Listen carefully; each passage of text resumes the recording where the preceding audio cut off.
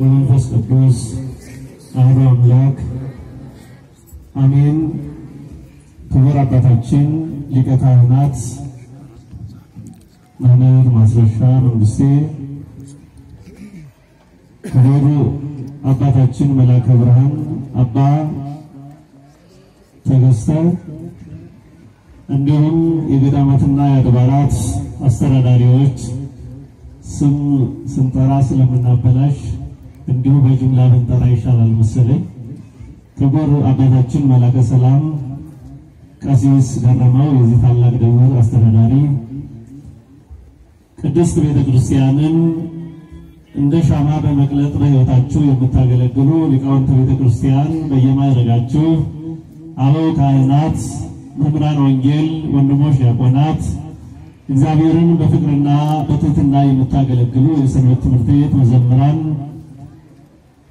ከእግዚአብሔር በረከትን ሽታችሁ የቅድስት ድንግል ማርያምን የእናትነት ምልጃ ፈልጋችሁ በሕያው መቅደሱ በአንድነት የተሰበሰባችሁ እግዚአብሔር በሽበት የጎበኛችሁ አበው፣ እናቶች፣ ወንድሞች፣ እህቶች እንዲሁም ሕፃናት ለሃይማኖታችሁ ዘብ በመቆም በአጭር ታጥቃችሁ ቅድስት ቤተ ክርስቲያንን የምታገለግሉ ወጣቶች ሁላችሁም በሕያው አምላካችን በልዑል እግዚአብሔር ፍጹም ሰላም እንደምን አረፈዳችሁ?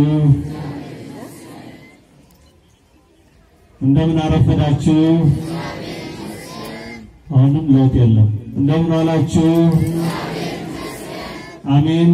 ጸአዚ ዓለም ብዕራው ኩሎ ዙስተዲው ዓለምን ካለመኖር ወደ መኖር በጥበቡ አምጥቶ የፈጠረ ፍጥረታትን ሁሉ በካህሊነቱ ጠብቆ በቸርነቱ መግቦ የሚኖር ያው አምላካችን በዚህ እድሜና ጤና መሰብሰብ በተወደደበት ዘመን በሕያው መቅደሱ በአንድነት በፍቅር ስለሰበሰበን ስለማይነገር ስጦታው አልፋና ኦሜጋ አምላካችን ስሙ ለዘላለም ከፍ ከፍ ያለ ይሁን። አሜን። በጭብጨባ ነው። በደንብ አመስግኑት እግዚአብሔር እንዲህ ከተለያየ ዓለም ከተለያየ ቦታ ለአንድ ዓላማ፣ ለአንድ ፍቅር፣ ለአንድ ወንጌል፣ ለአንድ ድህነት ስለሰበሰበን ማንነታችን ሳይሆን ክርስትናችን አንድ ስላደረገን አምላካችን ስሙ የተመሰገነ ይሁን። ይህ አንድነት የትም ዓለም ቦታ የለም። ይህ አንድነት በየትኛውም ዓለም አይገኝም። በየትኛውም ቦታ አይሰበክም። በዚህ ሰማያዊት ቦታ ነው። ክብርና ምስጋና ለአምላካችን ይሁን። ብፅዕት ከርስ ዘጾረተከ ወአጥዋይት እላጸናከ የጠባቸው ጡቶችና የተሸከመች ማኅፀን ንዑዳን ክቡራን ናቸው። የሉቃስ ወንጌል ምዕራፍ 11 ቁጥር 27 ቅድም መምህራችን በደንብ አስተምረውናል። እንዲያው ለመታዘዝ ያህል ባለን ጊዜ ውስጥ አጠር አድርገን የእግዚአብሔርን ቃል የምንሰማበት የትምህርታችን ርዕስ ይህ ነው። የተሸከመች ማኅፀንና በሉ አይ ሞራላችሁን ማን? ድንግል ማርያምን ለማመስገን ክርስቶስን የተሸከመችን ማኅፀን ክርስቶስን ያሳደጉ ጡቶችን እጹብ እጹብ ለማለት አቅም ከሌለ ምን ሰበሰበን? የተሸከመች ማኅፀንና በሉ አይሰማም። የጠባቸው ጡቶች ንዑዳን ክቡራን ብፁዓን ናቸው። ክብርና ምስጋና ለአምላካችን ይሁን። ይህንን ቃል የተናገረችው ክርስቶስ በመዋዕለ ሥጋዌው በሚያስተምርበት ሰዓት ታምራቱን፣ ትምህርቱን፣ ምግባሩን ተመልክታ የተደነቀች አንዲት ሴት እሱም ባከብር እከብራለሁ፣ እርሱም ባመሰግን እመሰገናለሁ ብላ እግዚአብሔር መንፈስ ቅዱስ ቢጎበኛትም ለራሷ ጥቅም ብላ አንዲት ሴት የተናገረችው ቃል ነው። ወደ ክርስቶስ መጣችና ክብር ፈልጋ ነው። እግዚአብሔር ደግሞ በሌላ መንገድ ያስተምራል። መጣችና አንተን የወለደች እናት፣ አንተ የጠባቸው ጡቶች፣ አንተን ያስገኘች ማኅፀን ንዑዳን ክቡራን ናቸው ብላ ምስክርነት ሰጠች። በዚህ ሰዓት ጌታችን መድኃኒታችን ኢየሱስ ክርስቶስ መልሱን በአዎንታ ገለጠላት። አዎን አላት። አዎ ማለት ማለት ነው እውነት ነው ማለት ነው አይደል?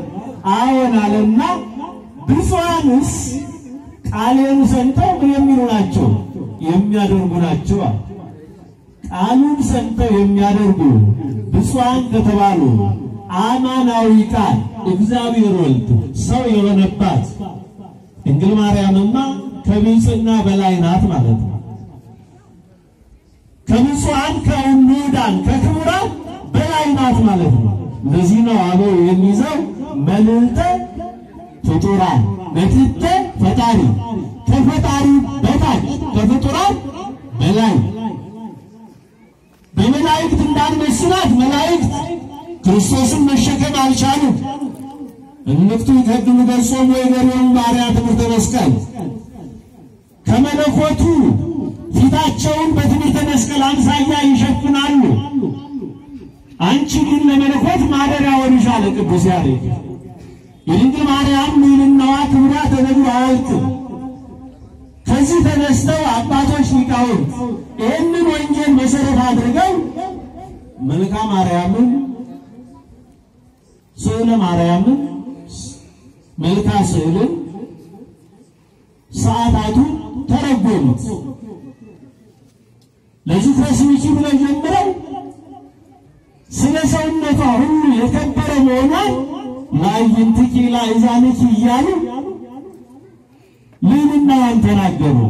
ዛሬ መልካ ማርያም ሲባል አንዳንድ ሰዎች ደግሞ ይሄ ወንጌል ላይ የሌለ ይላል።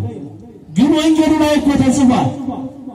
ወንጌሉ ላይ የከበረ ማኅፀን የከበሩ ጡቶች ተብለው ክርስቶስን ያጠቡ ያሳደጉ ጡቶች ተመስግነዋል። ክርስቶስን ይሄንን በአዎንታ ገልጿል። ስለዚህ እመቤታችንን ቅድስት ድንግል ማርያምን ስናከብራት አበው ከዚህ ተነስተው ድንግል ማርያምን ከፍ ከፍ ስናደርጋት ስናመሰግናት ብዙዎች ይከፋሉ። ለእኛ ግን ብዙ ምክንያት አለን። ምን አለን? ምክንያት አለን። ለምንድን ነው የምናመሰግናት? ለምንድን ነው የምናከብራት? ለምንድን ነው ዘወትር እሷን የምንጠራው ሲባል ምክንያት ስላለን ነው። ሲጀመር ድንግል ማርያምን ባያመሰግን ተጎጁ ማን ነው ማን ነው ተጎጁ? ለዚህ ነው አይደለ ቅዳሴ ማርያምን ሲጨርሱ ሊቃውንት መጨረሻ ላይ እኮ ቅዳሴው ላይ ቅዳሴ አባ ሕርያቆስ ሲዘጋው ምንድን ነው ካህን ዘንተ ቅዳሴ አኮ ማርያማ ዘይቄድስ አላ ለብዬ ይትቄደስ ይህንን ምስጋና የሚያመሰግን ካህን ድንግል ማርያም ላይ ክብር የጨመረ እንዳይመስለው። ቅዱስ ገብርኤል ካመሰገነው ምስጋና በላይ ምን ይጨመራል? ምስጋናው እኛን ነው ከፍ ከፍ የሚያደርገው። አላለሊሁ ይትቄደስ እርሱ ራሱ ምን ይላል? ይባረካል፣ ከፍ ከፍ ይላል። ድንግል ማርያምን ማመስገን መመስገን ነው። ለዚህ ነው እና አባ ሕርያቆስ እነ ቅዱስ ኤፍሬም ድንግል ማርያምን ባያመሰግኑ እና አባ ጊዮርጊስ ዘጋስጫ ሸክላ ሰሪ ግብር ፈቺ ብቻ ሆነው ነበር የሚቀሩ። እርሷን ስላመሰገኑ ግን ምን ሆኑ? ክብራቸው ከፍ ከፍ አለ። ክብርና ምስጋና ለአምላካችን ይሁን። ስለዚህ ድንግል ማርያምን በማመስገን የምንከብረው እኛ ነን። እሷማ ክርስቶስን ስለተሸከመች አንድ ጊዜ ከብራለች። በዚህ ምድር ላይ የድንግል ማርያምን ክብር ማግኘት አይቻልም። ድንግል ማርያምን እግዚአብሔር ሲያከብራት በምልጃ ነው፣ በሽማግሌ ነው። ክርስቶስ እኮ ሊያድርባት ሲፈልግ አስቀድሞ መላእክት ነው የላከዋል። መላእክት መጥተው በእጅ ጸንተዋት እኮ ነው። ቅዱስ ገብርኤል መጥቶ እኮ ተፈሥሒ እምኔተ ጸጋ ጸጋን የተሞላሽ ሆይ ምን ይበልሽ ምን ይበልሽ? አረ ተናገሩት። ደስ ይበልሽ አላት። ክብርና ምስጋና ለአምላካችን ይሆን። ደስ ይበልሽ። ይሄ ደስታ የእሷ ደስታ ብቻ አይደለም። ይሄ ደስታ የፍጥረት ሁሉ ደስታ ነው። ቅዱስ ገብርኤል መጥቶ ደስ ይበልሽ አላት። ጸጋን ምን ያልሽ የተሞላሽ ሆይ መጽሐፍም እንደሚለን ሁሉም ኃጢአት ሰርተዋል፣ የእግዚአብሔርን ክብር? ጎሏቸዋል አሉ። ይሄ ማለት የሰው ልጅ ክብሩን አጥቷል። በዚህ ሰዓት ግን እሷ ከነ አዳም በደል የነጻሽ መሆኗን ሲያጠይቅ ጸጋን የተሞላሽ አለ። አዳም ጸጋ ጎሎት እርሷ ግን ክርስቶስን ከመውለዷ በፊት በጸጋውን ያለች ናት፣ የተሞላሽ ናት። በጸጋ የተሞላሽ ስለሆነች መልአኩ ቅዱስ ገብርኤል ወደ እርሷ መጥቶ ጸጋን የተሞላሽ ሆይ ደስ ይበልሽ አላት። ነውር ነቀፋ ስለሌለባት ነቢዩ ንጉሥ ሰሎሞንም አልብኪ ነውር ወይም እንትን ይላይኪ ምንም አይነት ነውር ነቀፋ የለብሽም ማለት አዳም ከነ ልጆቹ ነውርና ነቀፋ ነበረበት። ያ ነቀፋ ክርስቶስ መጥቶ እስኪያስወግድለት ድረስ የሰው ልጅ ሁሉ በባርነትና በድካም ውስጥ ነበር። ድንግል ማርያም ግን በጸጋ አሸብርቃ እንደ ዕንቁ ስታበራ ተገኝታለች። ክብርና ምስጋና ይድረሳት። ስለዚህ ይችን ቅድስት እናት ይችን ክብር እናት የምናመሰግንበት ዋና ምክንያት ምስጋናዋ ክብር ስለሚሆነን ነው። እሷን ማመስገናችን እሷን ከፍ ከፍ ማድረጋችን ዋጋ ስለሚሰጠን ነው። እንዲሁ ቀረጫጭበን እናየው ብለን እንጂ ብዙ ሰፊ ነገሮች አሉ። በሁለተኛ ደረጃ ድንግል ማርያምን የምናመሰግንበት ዋና ዓላማ ስለታዘዝን ነው። ምን ስለተባል ምን ስለተባል ስለታዘዝን ነው። ጌታችን መድኃኒታችን ኢየሱስ ክርስቶስ ቅዱስ ዮሐንስ ወልደ ነጎድጓድና ወንድሙ ያዕቆብ እናታቸው ወደ እነሱ መጥ ወደ ክርስቶስ መጣችና ምን አለች ይላል? መጣችና እባክህን በነገስክ ጊዜ አንዱን በቀኝ አንዱን በግራ ምን በልልኝ አንግስልኝ አለችው። የማቴዎስ ወንጌል ምዕራፍ 20 ከቁጥር 19 ጀምሮ ስታነቡ ጌታችን መድኃኒታችን ኢየሱስ ክርስቶስ ግን እናንተ የምትለምኑትን የማታውቁ ብሎ ገሰጻቸው። እሷንም ገሰጻት። ምክንያቱም እሷ አንዱን ወደ ሲኦል አንዱን በቀኝ አንዱን በግራ እንዲሰቀል ነው የለመነችው። በግራ እንዲሰቀል ወደ ሲኦል እንዲወርድ የለመነችለት ዮሐንስ ግን ዛሬ በብሔረ ሕያዋን ከቅዱሳን ጋር ይኖራል። እስከ ዕለተ ምጽአት ድረስ ምን ይላል? ለዓለም ፍጻሜ እስኪመጣ ድረስ በሕይወት ይኖራል። እሷ የለመነችው አስቀድሞ ሞትን ነው፣ በኋላም ወደ ሲኦል መውረድን ነው። ግን እውነተኛ ልመናን የምታውቅ የምትለምነውን ለልጆቿ የሚያስፈልጋቸውን ነገር ለይታ የምታውቅ እናት ክርስቶስ ለዮሐንስ ሊሰጠው ስለፈለገ ምን አለ? ነያ እምከ እናት እናትህ በመስቀል ላይ ሁሉም ሲሸሹ ሁሉም ሲለዩት ያ የአምስት ገበያ ሕዝብ ሁሉ ይከተለው የነበረው ክርስቶስ እርቃኑን ለሰው ልጆች ፍቅር ሲል በመልዕልተ መስቀል ሲቸነከር ጽዋትወ መከራን ሲቀበል ሁሉም ሲያፈገፍግ ቅዱስ ዮሐንስ ፍቁረ እግዚእ ከእግረ መስቀሉ ስር ከእናቱ ከድንግል ማርያም ጋር ቆሞ ያነባ ነበረ። በዚህ ሰዓት ክርስቶስ ፍቅራቸውን ተመልክቶ እሱን አጽናኝና ሊሰጠው በሱ ምክንያት ለእኛም ደግሞ እስከ ትውልድ ድረስ ትውልድ ሁሉ የሚጽናናባት እናት እንድትሆን ክርስቶስ ሲሰጠን ምን አለው? ወደ ደቀ መዝሙሩ ወደሚወደው ደቀ መዝሙር ዞር አለና ነያ እምከ እነዋት እናትህ አለው። ወደሚወደው ምኑ ደቀ መዝሙሩ እናትህን ለማን ትሰጣለህ? እንደው እናትን ካ እናትህ ትሁን ይባላል? አይቻልም። አይደል? ደካማ የሆኑ እናቶች፣ ዘመን የሚገታቸው እናቶች ክፋት በባህሪያቸው የሚስማማቸው የኛ የሥጋ እናቶችን እንኳን ዝም ብለን ለማንኛውም ሰው እናት አድርገን መስጠት አንችልም። ክርስቶስ ግን ለሚወደው ደቀ መዝሙር ሰጥቷል። የሚወደን አምላካችን ድንግል ማርያምን ምን አድርጎ ሰጥቶናል? እናት አድርጎ ስለሰጠን ምን ብለናታል? እናት አድርገን እንማጸናታለን። አንማጸናትም ወይ? ኧረ አመስግኗት ታዲያ። ስለዚህ ስለታዘዝን ነው እናታችን ስለሆነች እንድናከብራት። ነገር ግን ምን ያስፈልጋል? ቆራጥ ሰው ያስፈልጋል። ድንግል ማርያምን እናት አድርጎ ለመቀበል እስከ መከራ እስከ እግረ መስቀል ድረስ መሄድ ያስፈልጋል። ፈሪ ሰው ድንግል ማርያምን ማግኘት አይችልም። እስከ መከራው መድረስ የማይችል ሰው አሁን ዛሬ እኮ ደክሞ የቀረ ሰው እኮ አለ። መቆም አቅቶት እኮ የሚብረከረክ እኮ አለ። ፀሐዩን መደበቂያ አጥቶ የሚቸገራለ። ድንግል ማርያም ግን ከስንት መከራ ሰውራናለች። ክብርና ምስጋና ይድረሳትና ስለዚህ እስከ መከራ መታመን ያስፈልጋል። በሶስተኛ ደረጃ ድንግል ማርያምን የምናመሰግንበት ትልቁ ምክንያት ለጉድለታችን መድኃኒት ስለሆነች ነው። ለምናችን አልኳችሁ ለጉድለታችን በዮሐንስ ወንጌል ምዕራፍ ሁለት ከቁጥር አንድ ጀምሮ ስትመለከቱ በቃና ዘገሊላ ሰርግ ነበረ። በዚህ ሰርግ ውስጥ ድግሱ ከአቅም በታች ነው፣ የተጠራው ሰው ከአቅም በላይ ነው። እንደምታውቁት ለቅሶ ቤት እንጂ ሰርግ ቤት ማንም ሰው መግባት አይችልም እ ለልጆች ቦታ የለም። ለቅሶ ቤት ሰው አይጠራም። ሁሉም ሰው ዝም ብሎ ነው የሚሄደው።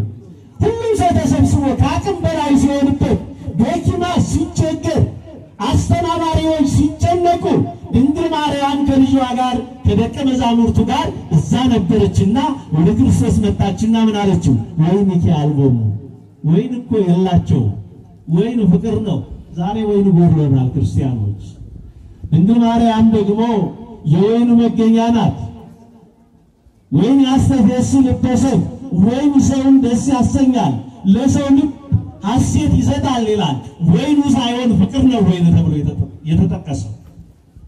ስለዚህ ፍቅር ለጎደላቸው ድንግል ማርያም ምንድን ናት? መድኃኒት ናት።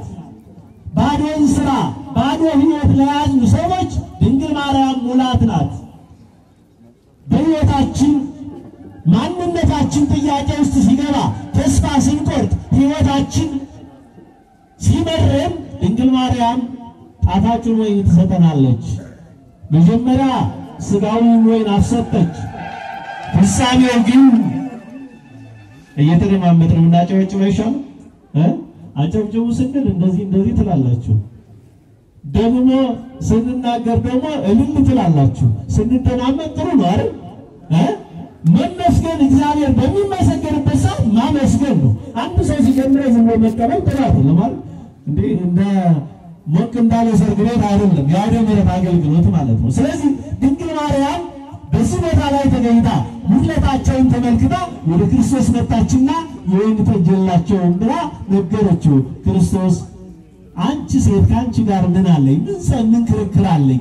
እንኳን ጠይቀሽኝ እንኳን አንቺ ጠይቀሽኝ ይቅርና ሌሎች እንኳን መጥተው ጠይቀውኝ ታምራት እያደረግኩ አይደል? ሙት እያስነሳሁ አይደል? ጉድለታቸውን እየሸፈንኩ አይደል? እንኳን አንቺ ከዓለም ተለይተሽ ከብረሽ አገኘውሽ በንጻ ሥጋ በንጻ ነፍስ ያጌጥሽ እንኳን አንቺ ለምነሽኝ ደካሞች እንኳን ለምነውኝ ጸሎታቸውን ልመናቸውን እላለሁ እቀበላለሁ ብሎ መልስ ሰጣት። ስለ ተግባቡ ድንግል ማርያም ሄደችና ምን አለች? የሚላችሁን ሁሉ እግዚአብሔር የሚለንን ካላደረግን የምንለውን አናገኝም። ድንግል ማርያም የሚያስፈልገንን እንድትሰጠን እሷ የምታዘንን መፈጸም ያስፈልጋል። መታዘዝ ከማዘዝ ይቀድማል። በጸሎት እግዚአብሔርን ማዘዝ፣ በሕይወት እግዚአብሔርን ለእግዚአብሔር መታዘዝ ይቀድማል። ጸሎት እኮ እግዚአብሔርን ማዘዣ አንድ ትእዛዝ መንገድ ነው። ንጉሡን እግዚአብሔርን በጸሎት እናዘዋለን። ነገር ግን በንስሐ በሕይወት ደግሞ እግዚአብሔር ለሚያዘን ነገር እሺ ማለት መልስ መስጠት ያስፈልጋል። እየሰማችሁ ነው አይደል? ስለዚህ ቀረበች ድንግል ማርያም አጽናናቻቸው። ውሃው ወደ ወይን ተቀየረ። ጉድለታቸው፣ ሐዘናቸው ተፈታ። በሕይወታችን ድንግል ማርያም ብዙ ሐዘናችንን ብዙ ጉድለታችንን እንድትፈታልን እንማጸናታለን። የጉድለታችን ምንድን ናት? ምንጭ ናት። ሌላው ድንግል ማርያምን የምናመሰግንበት ምግብ መጠጥ ለሕይወታችን ስለሰጠችን ነው። ምን ስለሰጠችን ወላጆቻችን አብልተው አጠጥተው ስላሳደጉን ምን እንላቸዋለን? እናመሰግናቸዋለን። ኦ ማርያም በእንተ ዝናፈቅረችውን አበይች አይደል? ማርያም ሆይ ስለዚህ እንወድሻለን፣ ከፍ ከፍ እናደርግሻለን፣ እናመሰግንሻለን። የማይጠፋውን የዘላለም ምግብ የሕይወት ምግብ ምን ብለሽልናልና ሰጥተሽናልና፣ ክብርና ምስጋና ይድረሳል። የሕይወት ምግብ የሥጋ ምግብ አይደለም። የሥጋ ምግብ የሚያልፍ ምግብ አይደለም። መቼም እዚህ ዓለም ላይ ያለው ጉልበት ሰጪ፣ ኃይል ሰጪ፣ የተለያየ የሕይወታችን አስፈላጊ ነው የሚባል ምግብ አለ። የሕይወት ምግብ ግን እዚህ ዓለም ላይ የለም። የሕይወት ምግብ ማን የሰጠችው ብቻ ነው? ድንግል ማርያም የሰጠችን ምግብ ብቻ ነው። ይሄ ምግብ እንዳው ዛሬ ሰንበት ትምህርት ቤቱ ከመፈጠሩ በፊት ድሮ ድሮ እናቶቻችን ታቦቱ ሲወጣ ከኋላ እያጨበጨቡ ምን ይላሉ? ያንጎራጉራሉ። ዛሬ ዛሬ ዘፈን ተቀላቅሎበታል እንጂ ዝማሬ ነበር እና እዛ ላይ እናቶቻችን ሲያንጎራጉሩ ምን ይላሉ? ከሴቶች በሙያ ማን ነው የሚመስልሽ? የሰማችሁ ነው። ከሴቶች በሙያ ማን ነው የሚመስልሽ? አንድ እንጀራ ጋግረሽ ዓለሙን አጠገብሽ። እየሰማችሁ ነው። አንድ እንጀራ ክርስቶስን አስገኝታ ዓለምን ምናለች? አጥግባለች። ዓለም እስከ ዓለም ፍጻሜ ድረስ በልተነው ጠጥተነው የሕይወት ምግብ የሕይወት መጠጥ የሚሆን ምግብ የሰጠችን ማናት? ድንግል ማርያም ናት። ክብርና ምስጋና ይድረሳል። ስለዚህ የሕይወት ምግብ ሰጥታናለች። እናመሰግናታለን። መሶብ እንዳንላት መሶብ እንጀራው ይቀርብበታል እንጂ ምን አይልበትም፣ አይጋገርበትም። በምጣዱ በምጣዱ እንዳንመስላት ምጣዱን ከሌላ ቦታ ሊጡ ካልመጣ ስንዴ ከሌላ ቦታ ካልተሰራ ምን አይልም አይጣድበትም። በእርሻው እንዳንመስላት እርሻውን ምን ያስፈልገዋል? ዘር ያስፈልገዋል። እሷ ግን ዘር ሳይዘራባት አንቲቱ ገራይት ዘይተዘራ ውስጤታ ዘር ወፃምን የጭፍር ሕይወት ዘር ያልተዘራባት እርሻ ማናት? አንቺ ነሽ። ከአንቺም የሕይወት ፍሬ ወጣ አለ። ሕይወትን ያስገኘችልን ድንግል ማርያም ክብርና ምስጋና ይድረሳል። ስለዚህ ድንግል ማርያምን የመጨረሻው የምናመሰግንበት የምናከብርበት ዋና ዓላማ ስለምታማልደን ነው። ምን ስለምትለን? እስኪ ተናገሩት። ምን ስለምትለን? ስለምታማልደን። ቅድም መምህራችን እንደተናገሩን ስሞን ዘቅብር በቅብር ሀገር የሚኖር ስሞን የተባለ አንድ ደግ ሰው ነበረ። ሰው ሕይወቱ ብዙ ጊዜ ይቀያየራል። ዛሬ ደግ የተባለው ዓመት አይቆይም። እግዚአብሔርን ይፈራል። አብርሃም አብርሃማዊ ሕይወት ይኖራል። የተራበ የተጠማ ያጠጣል። ከብዙ ጊዜ በኋላ ሰይጣን በዚህ መልካም ስራው ቀናና ይህን ሰው ምን አለው ይላል ፈተነው፣ ሃይምሮን አሳጣው። የሚበላውን የሚጠጣውን ሰዋዊ ሕይወቱን ቀይሮ ሰው እያረደ መብላት ጀመረ። ታሪኩን አጠር አድርጌ ነው የምነግራቸው። ሰው እያረደ መብላት ጀመረ። በዚህ ምክንያት በሀገሩ የሚያውቁት ሰው ይህን ሰው አባረሩት። እንደ እብድ ውሻ ሆኖ ብቸኛ ሰው ሲያገኝ ሰይፉን እየመዘዘ ሰው እየገደለ መብላት፣ ሰው እያረደ መብላት የሕይወት ስራ ሆነ። ይህንን እያደረገ ሲሄድ